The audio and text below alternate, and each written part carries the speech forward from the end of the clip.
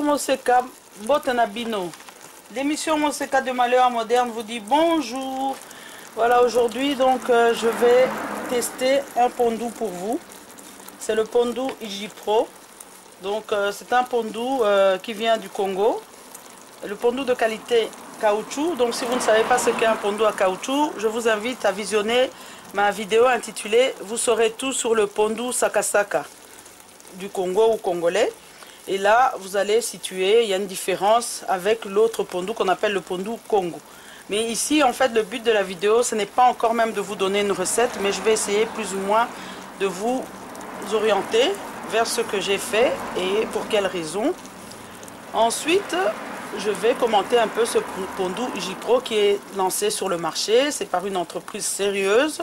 C'est fait dans les normes d'hygiène. C'est fait à Kinshasa.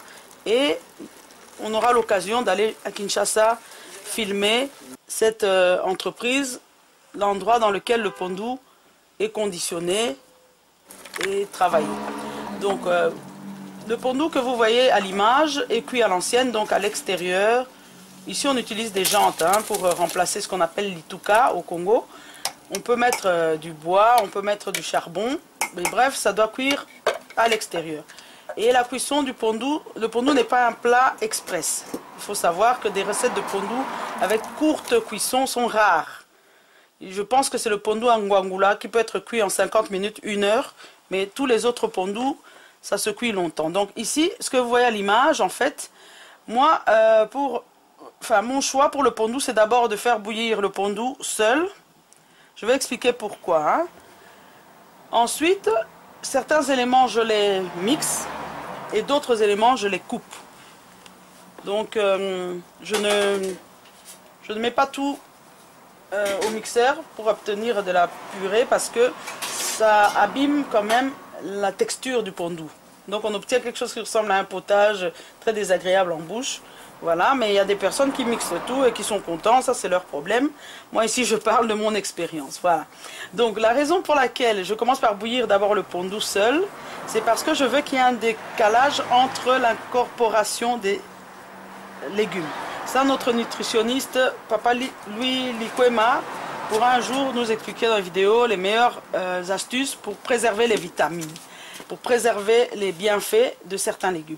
Comme le pondou, en fait, c'est un produit on doit cuire longtemps parce qu'il peut être toxique lorsqu'il n'est pas assez cuit. Ça, j'avais déjà expliqué, je pense. Je commence par faire bouillir le pondou, par exemple une heure tout seul ou deux heures.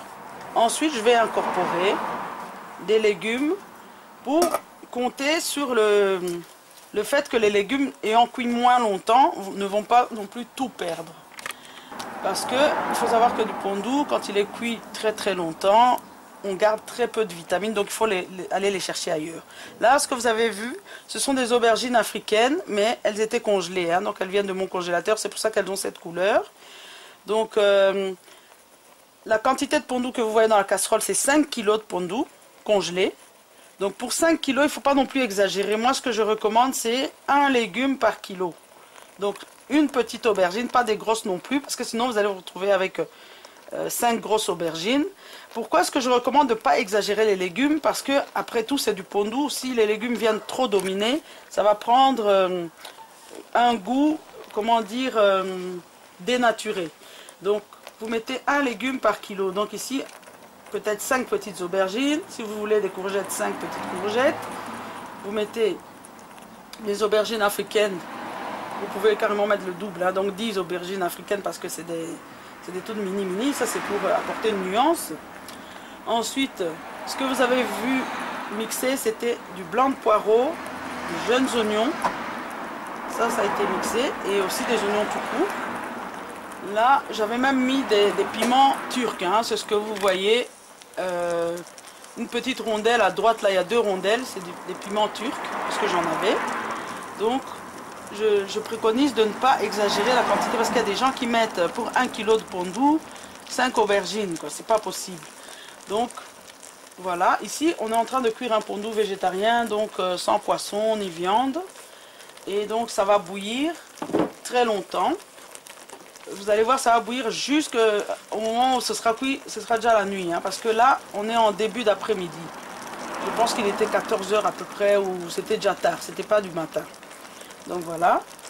Et euh, on va mettre du sel, par exemple. Ce n'est pas nécessaire de mettre à tout bout de champ. Vous avez devant, en face de vous un pondou frais qui vient du Congo. Des cubes dans le pondou. Moi, je ne suis pas très très pour. Il y a certaines personnes qui, peuvent, qui ne peuvent pas s'en passer. Alors si vous avez l'habitude et que votre cube est d'une provenance fiable, vous pouvez le mettre. Mais avec des produits frais, restez dans le naturel, vous verrez que les saveurs seront meilleures. Donc vous pouvez mettre un peu de sel, vous pouvez mettre, pour ceux qui aiment l'ail, vous faites un, mix d'ail avec je ne sais quoi, parce que du pondou au gingembre, ça existe aussi. Donc si vous voulez faire ail et gingembre dans votre pondou, c'est tout à fait faisable.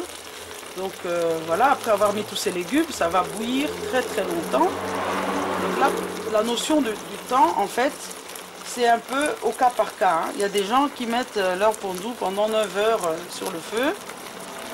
Mais bon, voilà. Et il y a d'autres, euh, leur minimum c'est 4 heures. Donc ça c'est un peu au cas par cas. Moi je ne peux pas venir vous dire, faites pas plus de 3 heures, faites pas plus de 5 heures. Si, votre maman vous a dit de mettre toute la journée, j'ai pas envie d'être dans des conflits. Donc ici il faut juste veiller. Les légumes vont bien bien bien cuire. Va bien cuire et je vais un petit peu parler de certaines croyances traditionnelles. Au Congo, la croyance traditionnelle par rapport à la cuisson du pondou et d'autres plats veut qu'on n'aille pas touiller dans la casserole. Donc en fait au Congo quand ils font le, le, ils ne touillent jamais. C'est juste que quand ça sera bien bien cuit, que tout est mélangé. Mais bon moi, toutes ces croyances, s'il n'y a pas de lien de cause à effet, euh, c'est pas trop ma tasse de thé. Donc à un moment donné, je vais finir par touiller. Donc voilà. C'est pas non plus, c'est pas un plat où il faut aller toutes les 5 secondes avec une cuillère dedans.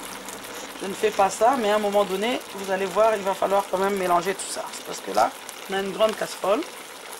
Voilà. Maintenant, concernant l'huile de palme aussi, ce que je voulais dire, que la plupart des recettes originales du Congo, c'est à base d'huile de palme, ou alors à base de pulpe de palme qu'on appelle sauce graine. Ici, je vous montre euh, l'huile que j'ai choisie. Regardez bien, vous voyez à gauche, là, je vous montre la qualité de l'huile. Donc, euh, il y a des signes pour reconnaître l'huile non raffinée, authentique, l'huile rouge. Et celle-là, elle n'est en rien dangereuse pour vous. Notre nutritionniste vous expliquera. Regardez, vous voyez, il y a des espèces de boules.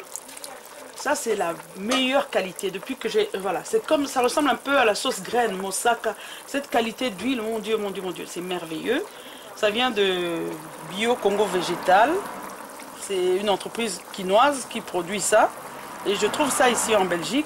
Depuis que j'ai découvert cette huile, c'est celle-là et pas une autre. Parce que elle, a une texture et elle est comme si j'avais fait moi-même cette huile. Et comme j'ai vu des mamans faire de l'huile au Congo, je sais comment devient l'huile. Vous voyez, il y a quelque chose dans cette huile que vous ne trouvez pas dans les huiles industrielles qui vendent même dans les magasins africains. Il y a d'autres soi-disant sans cholestérol, machin.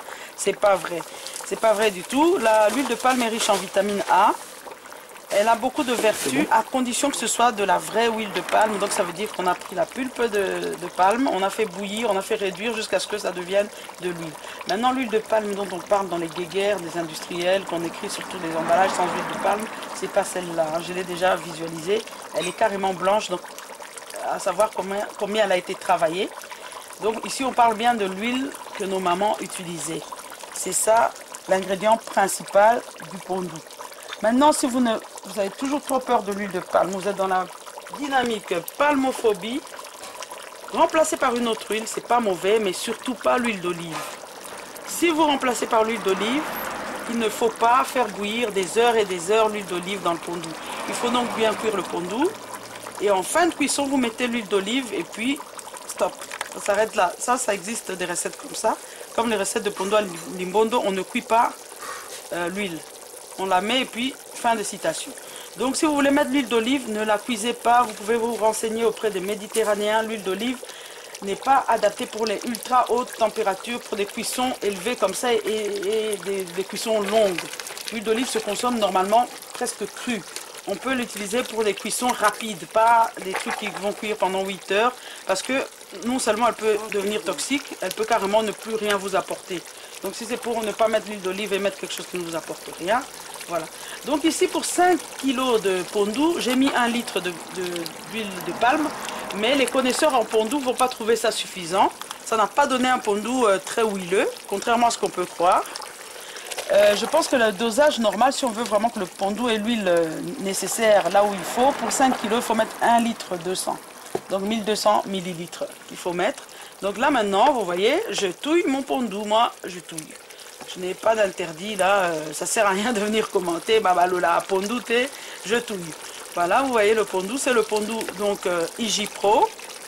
Sur mes vidéos, ces derniers temps, vous avez vu en fin de vidéo la publicité du pondou Pro. Vous allez voir les numéros de téléphone qui vont se mettre et qui sont déjà présents dans certaines pubs. Vous pouvez téléphoner et on vous fournira donc ce pondou. Voilà, donc à présent, euh, on arrive tout doucement à la fin. na pondu bino pondu belgique mais mais soki oza moto ya hollande ya france okoki mpe kokomande bakoluka moyen ya kokomisela ezowuta kinshasa bazosala yango mpenza na propreté nyonso bazotia yango na froid donc soki olia yango okosepela donc merci cloche wana mpo bona banotification abonnez-vous à ma chaîne. Bye. Désormais, il est possible d'acheter du pondu à caoutchouc nettoyé, conditionné et congelé dans les normes d'hygiène et respectant la chaîne du froid. Pour vous en procurer, veuillez appeler au numéro suivant. Le plus 32 493 45 73 92 ou au plus 32 493 94 56 89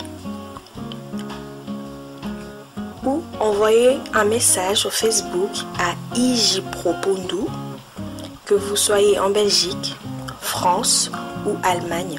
Passez commande en mentionnant bien vos noms, prénoms et le nombre de